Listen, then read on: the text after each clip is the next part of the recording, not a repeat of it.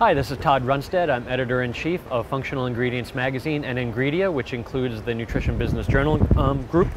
We're here at the NBJ Summit this year. I'm here with Michael McGuffin. He is the president of the American Herbal Products Association. And, uh, and Michael uh, received uh, an award from NBJ for efforts on behalf of the industry. Congratulations. Thank you very much. You, uh, I, have known you for a long time, and, and, I know you just do quality work on behalf of the industry, so we're, we're pleased to present this award to you. I want to talk a little bit uh, you know, starting from, from today and moving back, you recently had a dialogue with Senators Durbin and Blumenthal about GMPs. What did you talk about? Well, we acknowledged in the first place that we're committed as an industry to comply with the new GMP rule. Um, and that while we want to make no excuses about that, that it's important to put it in the context of a very complex new rule that the smallest companies are only two years into their compliance schedule.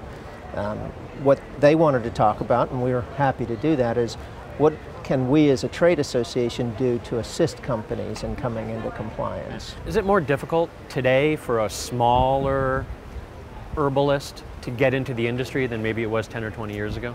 I got into the industry in 1980, and it was uh, not difficult at all. I got into the industry because I was impassioned. I got into making tinctures because I wanted to prepare high quality herbs. I think that that drive, that personal interest can still be sufficient to bring you into the industry, to kind of set the stage for entry. The obstacles to entry are significantly higher now because um, I mean, just simple things like we didn't have any facility registration requirement in 1980, and you do now. And if you're not registered, then you're on your face unlawful. Um, as soon as you start to encounter the GMP, it's a very real rule where you have to have significant knowledge, significant resources. Um, just numerous of the requirements are the level of regulation of this trade is quite a lot higher than it was. Yeah. So are there sort of like two different sort of parts of the industry, sort of the bigger companies versus smaller companies, and the responsible industry versus what might be called the irresponsible industry? I'm not good at drawing those kinds of clear separations. There are certainly small companies, they all want to be big. Not, that's not entirely true. There are a lot of small companies that are comfortable being small. Um, but I think that the, the the things that separate small and large companies other than their size are not all that significant. We all have to comply with the um, same regulatory issues and we're all compelled to make high quality products. So I don't pay too much attention to that. We welcome all of them. We have members with sales of less than half a million dollars a year on up to companies that uh, pay the highest level dues and uh, enjoy sales in the hundreds of millions of dollars. Um, the, and even the good company versus bad company dichotomy, I, I, I think there are very few bad guys. I think there are companies that haven't figured out how to meet their obligations, but I don't think it's from lack of caring about that. I think it comes to be resource issues, and that's again one of the things that a trade association tries to do. We try to fill the gap for them. We try to provide training. We try to answer questions on their behalf. We in a sense, provide a, a resource to them that they can't afford as small companies. But I'm, I don't find a lot of bad players. I know that's what the uh, mass media likes to talk about, and sometimes we get caught up in that language. But we're working for the good guys, and that's who we encounter. Yeah. So, you know, AHPA has done a lot of, of work to, to serve its members, GMPs being probably the biggest issue. Um, and part of that was, you know, the, the, the flashpoint that was part of GMPs was the NDI um, uh, sort of kerfuffle that was over the past year. Part of that was ODIs. Mm-hmm. And so when you talk a little bit about how, what AHPA has done to as far as creating an ODI list and, and just challenges that you've had in getting FDA acceptance with that. Well, we initially put together a list of herbs that our members had told us had been marketed prior to the passage of DSHEA in 1994. We submitted that list to FDA in 1995, about 1,600 plants. Uh, we then kept going in that we continued to get input from our members and we cleaned up the list. That became published as Herbs of Commerce, the 2000 edition of that text, which came to be about 2,200 plants. In the interim, what we have continued to do is to reach out to our members and, in fact, some of our own files um, to save some of those old records. So we're now at a stage where we're creating a substantiation file. Not only do we have the list of ingredients that people have told us were marketed prior to that date, we're obtaining old records um, to substantiate that. We also have the position that uh, the obligation, the, the burden is on the Food and Drug Administration, not the industry. We have an obligation to act if the ingredient is new, but there's not an affirmative requirement to have a 19-year-old piece of paper in order to sell chamomile. I can sell chamomile, and if FDA thinks it's new, that's their obligation to assert that. Yeah. So is part of this sort of gamesmanship, is this sort of a hurdle or an issue in getting greater mainstream acceptance of botanicals. I'm talking both from a consumer level, as well as a health practitioner level, as well as sort of the establishment healthcare paradigm. I don't see consumers, professionals, healthcare establishment uh, thinking for one moment about new versus old ingredients. I think that issue is uh, irrelevant to, at that level.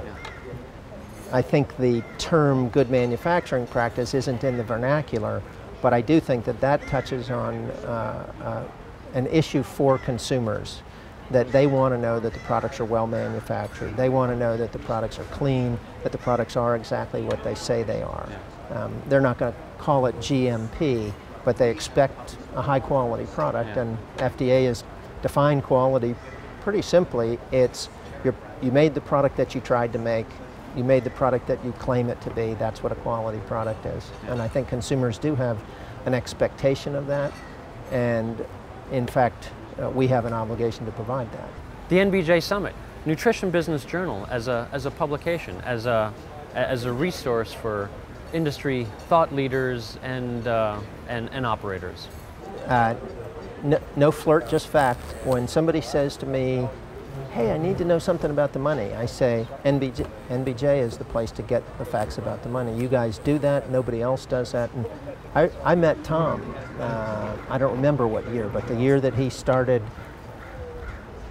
expressing his interest in compiling information about the money. And his message was, nobody's done this. You're in an industry that's growing, we need to look at the money um, NBJ from that moment has been the primary resource for understanding the economics of this trade. And I rely on it, I advise others to rely on it. And the, as, as, far as the summit, I mean, this is just a great meeting place. Uh, the events themselves are great. I tend to not miss any of them. The speakers are uh, well chosen, the content is always good.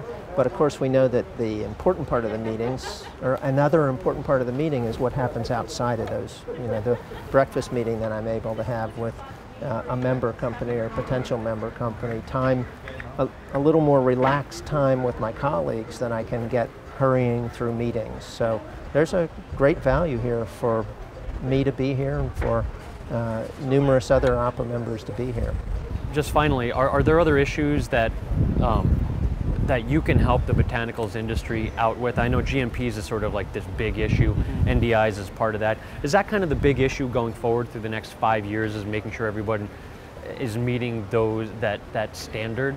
Or are there other, other, other things that work that aren't related to GMPs that I think those probably are the big issues. Um, there are, I think, emerging issues Sustainability is a word that's used not just in our trade, but in an industry that still relies to some degree on some wild plants. Sustainability is a real issue, and we have member companies who are taking great steps to ensure that the product that they're obtaining from South America or Asia is obtained in a manner that ensures continued access. Even in North America, we're starting to work on uh, some research on OSHA, a plant that's of you know, not one of the high volume plants, but it's a wild harvested plant. We're paying a researcher from the University of Kansas to evaluate the impact of our harvest. So I think sustainability is a very real issue in an industry that uses plants.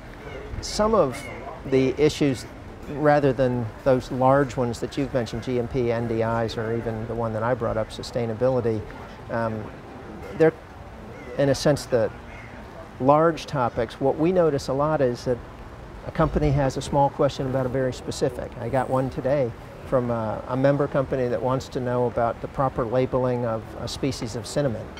Well, we're going to stop and help them understand what the regulation is for uh, identification. It's not the, the big picture question that I think you're asking Yeah. about, Todd, but so much of Sort what of we day-to-day retail the day-to-day retail stuff, this member has this need. I take the time to uh, serve them in whatever way I can, or my staff does the same.